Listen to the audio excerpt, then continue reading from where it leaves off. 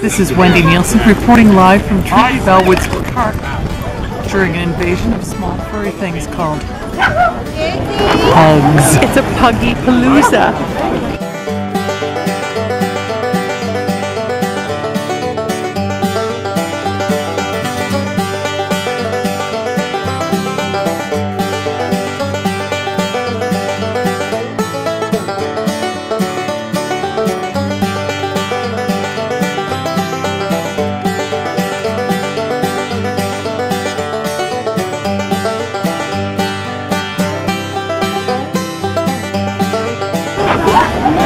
Puggy palooza.